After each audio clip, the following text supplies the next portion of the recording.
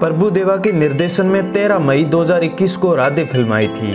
110 करोड़ के बजट में बनी इस फ़िल्म की कमाई केवल 18.33 करोड़ है, यानी 18 करोड़ के आसपास।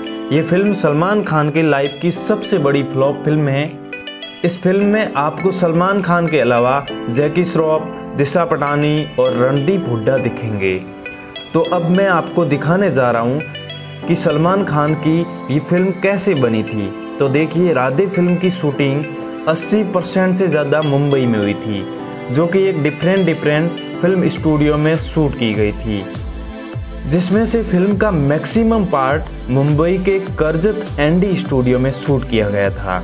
मुंबई के अलावा लखनऊ कोलकाता गोवा में भी इस फ़िल्म के कुछ पार्ट्स शूट किए गए थे।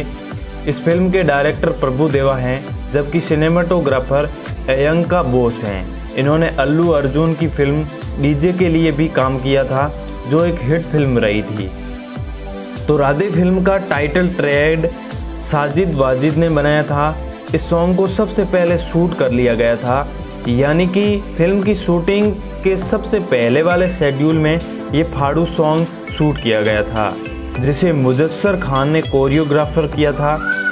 एंड वही सलमान खान और दिशा पटानी की खूबसूरत जोड़ी आपको इस सॉन्ग में देखने को मिलेगी। लेकिन ये फ़िल्म ज़्यादा नहीं चल पाई और फ्लॉप हो गई।